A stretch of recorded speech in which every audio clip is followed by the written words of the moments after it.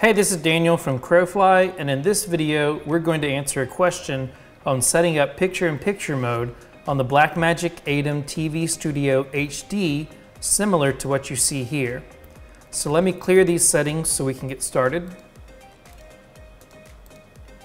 Now, when you first open the ATEM software control, this is what you see.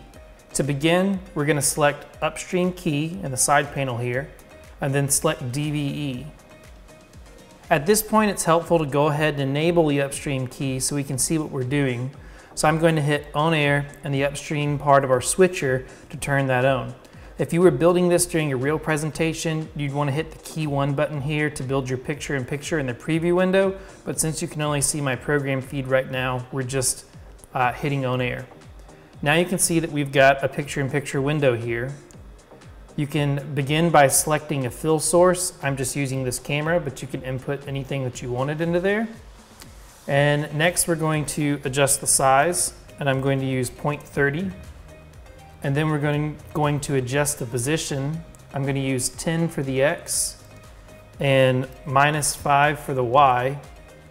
And then finally, you can adjust your border settings. I like to use 0.15 you can change that using the outer width or inner width settings, or you could just turn the border off if you wanted to. And now we have our basic picture-in-picture -picture built, which can be turned on and off using the upstream key switcher controls. Now this resets every time you close the program, so I've created a macro with these settings that I can run when the program opens to get all my basic settings back where I need them to be. If you have any other questions about the ATEM or live production in general, feel free to ask away.